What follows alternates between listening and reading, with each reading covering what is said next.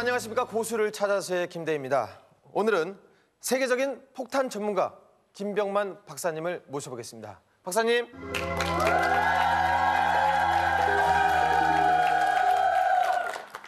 김병만 박사님. 예, 선생님은 지금 폭탄을 제조하고 계십니다. 아 조수세요? 네, 좋습니다. 아 예. 김 박사님께서는 어떠한 사물도 이 폭탄으로 제조하실 수가 있다고 들었는데. 네, 네, 맞습니다. 맞습니까? 예, 맞습니다.